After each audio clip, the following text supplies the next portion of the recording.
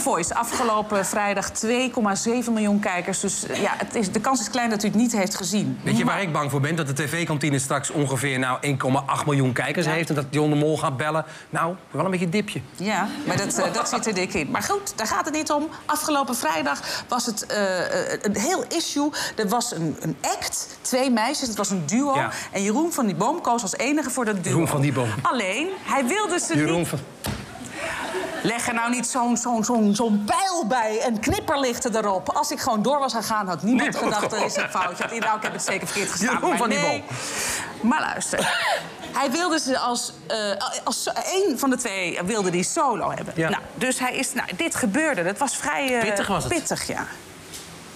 Uh, luister, het was voor on- even heel duidelijk zijn. Ik hoorde gewoon steeds een, een, een stem. Dat ik dacht van, nou, ik vind dat gewoon helemaal te gek. Wat ik denk, is dat mijn voorkeur naar jouw stem uitgaat. Als duo hebben wij gewoon jouw hulp vooral nodig. Omdat, ja, we zijn gewoon nog niet sterk als duo. Maar ik zie het als duo echt duo. niet zitten. Ik heb gedrukt omdat ik één van de twee stemmen... Ja. Maar kijk, Goed ik voel me wel een beetje bezwaard, omdat ik heb ook vooral gezegd van nou, ik zing die stukken wel, een beetje meer de solo-stukken. Zou je solo door willen? Ik vind het heel moeilijk. Zou je ja of nee zeggen? Ik, kan het, ik vind het echt moeilijk, want het is gewoon... Zeg ja of nee. Dan neem ik een beslissing. Nee, ik denk dat we toch samen blijven. Dus je zegt je zangcarrière op voor elkaar. Is voor mij de reden om jullie wel allebei te nemen. Want dat vind ik heel goed. Ze zijn hier Jeroen van de Boom samen met Anoupa en Jennifer.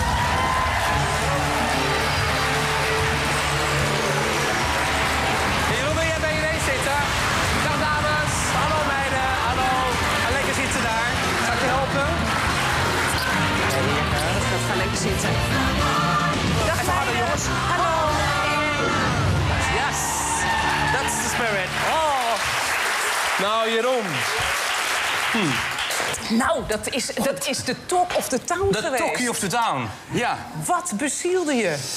nou ja, kijk, mensen realiseren zich niet als je het programma doet in een blind audition. Dat je dus, wij, ze zeggen niet tegen ons, er komen er nu twee. Ah, oké.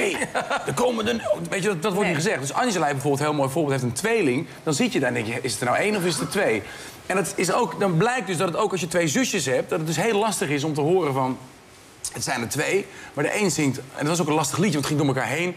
Ik zeg, ja, en dan zitten we natuurlijk achter zo van... eh, en dat zag je niet van, en, oh, ik weet het niet, zijn het er één? Ja, het is er twee. Nou, weet je wel, hoppakee. En ik vond er gewoon één beter zingen. Dat heb ik toen gezegd. Ja. Nou ja, en, dat, eh, en de rest is eh, history. En, wanneer, wan- maar wanneer besloot, wanneer besloot je nou echt van, ik doe het toch? Nou, Had je dat kreeg- al van tevoren, Nee. toen je naar de toe... Nee? Nee, je moet je voorstellen, wij mogen 15 kandidaten zien, eh, uitzoeken. En er komen 200 mensen voorbij. Dat betekent dat je op dag 3 van opname, dan heb je er bijvoorbeeld al 7.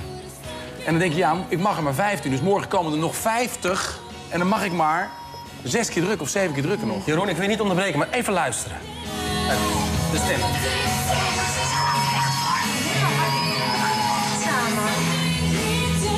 Goed? Ja. Het was al de tweede keer dat ze zongen, volgens mij. Maar goed, die had er nog zeven te gaan. En dan Ja. moet je heel goed nadenken. Ja, dan moet, je gaan, dan moet je keuzes gaan maken. Kill your darlings. En ik denk, nou, als ik er eentje kan meenemen naar de Kill battle... your darlings. Kijk eens wat er zit, hé. Ja, nou, zo noemen we dat. Mag ik even wij- mag ik even één ding zeggen? Ja, wij zijn ook ietsje verder al. Hè? Wij zijn inmiddels alweer hele goede vriendjes en vriendinnetjes geworden. Want hoe lang is het geleden dan, wat ik, wat ik gisteren, of wat ik vrijdag zag? Een week of vijf geleden? Ja, in de tussentijd is natuurlijk een hoop gebeurd. John heeft natuurlijk gezegd, daar mag je nog niks over zeggen... want anders zijn de kijkers straks helemaal in confu- confused. Hebben jullie veel reacties gehad op de uitzending? Ja, zeker. Wat, wat, wat hoorde je het meest terug? Nou, dat het heel spannend was en dat iedereen echt zo zat te kijken. Het leek ook eigenlijk een beetje echt een, eh, een soap. Ja, maar wat, wat het vooral was, was natuurlijk zusterliefde. En dat jij toch kiest voor je zus. Ja. Iedereen gunt het je nu natuurlijk. Ik denk dat dat wel een heel belangrijk... Was dat Ja. voor jou ook het moment dat je dacht van... nou, nu kies ik haar wel dan? Nee, maar als jij dus, zei ik al, als je, als je, wij, kijk, wij zitten daar ook maar als zanger of als, als artiest op die stoel. Wij zijn niet jury en coach. Op dat moment ben je zo, je bent nu coach.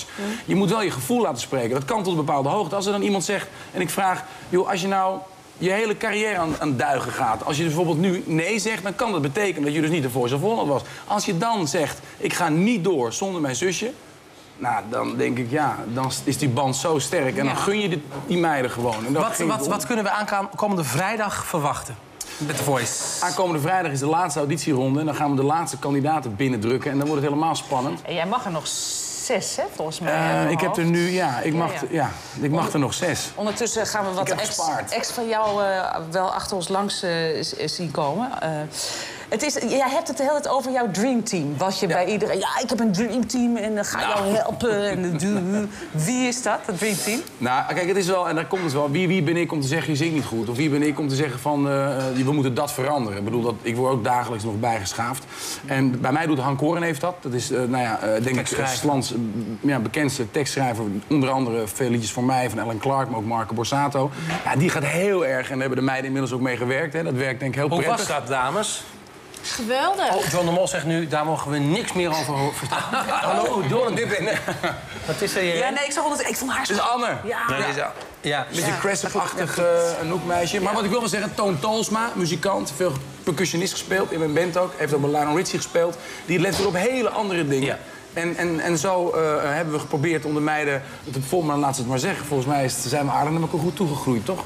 Ja, zeker. Ja, zeker. Het was, het was heel leuk en eh, we hebben het goed gemaakt. Jullie zijn heel bang dat jullie iets zeggen wat je nog niet mag zeggen, volgens mij. Ja, dat Ja. klopt, ja.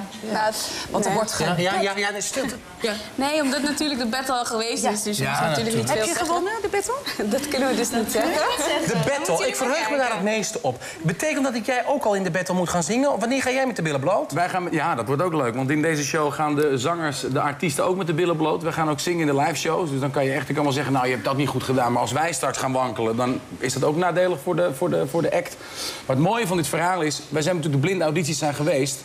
En ik zeg, ja, wat gaat het nu verschillen dan van alle andere eh, talentenshows? Het rare wordt, wij moeten straks gaan battelen met die 15 die je zelf wil hebben. Dus ik heb 15 kandidaten die volgens mij eh, de Voice kunnen worden. Maar die moeten niet battelen tegen andere kandidaten. Die moeten Tegen- in mijn oh, team vreselijk. battelen. Dus ik moet zeggen straks tegen de meiden of tegen eh, een Anne... of ik moet tegen iemand anders zeggen van ja, je gaat er toch uit. Nou, dat verheug is me. zo slecht om te doen. Het is een klapper, hè, hier. het is een iedereen iedereen Oh, het praat over de voice. Dames, even de microfoon. Want jullie hoeven echt niet eh, heel lang met ons te praten, maar wel even te zingen. Absoluut. Heel veel succes. En eh, daar gaat hij voor jullie. Ja hoor. Nou, die we, we schrijven ook zelf liedjes. Wat zeg je? schrijven ook zelf. Ja, Schrijf ja. je zelf liedjes? Dat hebben we liever niet. Maar laat maar een klein stukje horen. Ja, een stukje van de eigen nummer. A cappella. You live your life in the night, waking up with all your lies. You say yourself you'll be alright. Finally made it through that night. This is not the way to be, insecurity. Now you want to make me feel small, so your perception feels so real.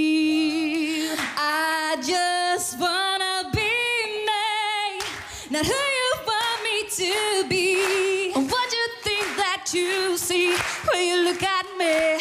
Just let me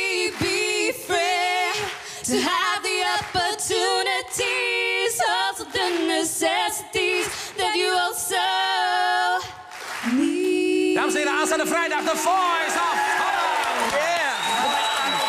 Dat gaan we zelf zien. Goed gedaan. Jeroen zien wij binnenkort ook weer terug in Live for You. Want je album komt eraan en in november je single. Dus daar gaan we tegen die tijd wel weer van horen. Maar, maar tot die tijd gaan we je volgen op die vrijdagavond. Dat weer goed klinken. Ja, dat komt door alle grote shows. De Soundmix Show kwam er vandaan. Heb je dat ooit nog gezien? De Honeymoon Quiz. Ja. Kwam allemaal uit Aalsmeer. En op een gegeven moment een... eh, Nou, niet uit Aalsmeer hoor. Nee, Telekids was zo klein studio. Nee, dat kwam uit de bezemkast van Aalsmeer. Dat was, eh, Jullie zijn keken wel. Keek je altijd, ja? Ja. En wat vond je het leukst? Ehm Piet Getijden was ook heel leuk. Het was een hele leuke aflevering met Ilse de Lange. Die is niet op DVD. Maar thuis is die Jeroen, jij was er ook nog in. Hè?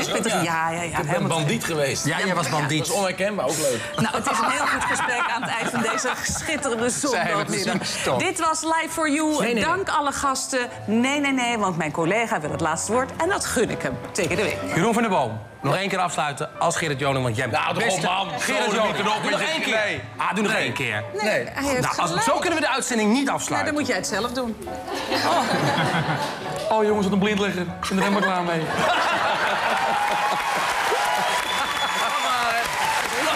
Ja.